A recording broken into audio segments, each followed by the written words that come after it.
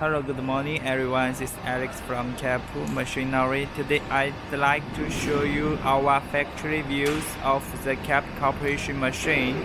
And now uh, we have almost 10 size Cap machine in stock and also they are busy for the working for the production.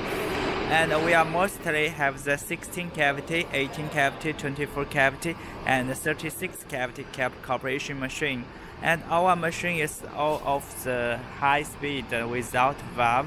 You can check details for our factory view. Many details information for workers and for our engineers. Yes. Hope welcome to visit us after the uh, good situation we can cooperate one by one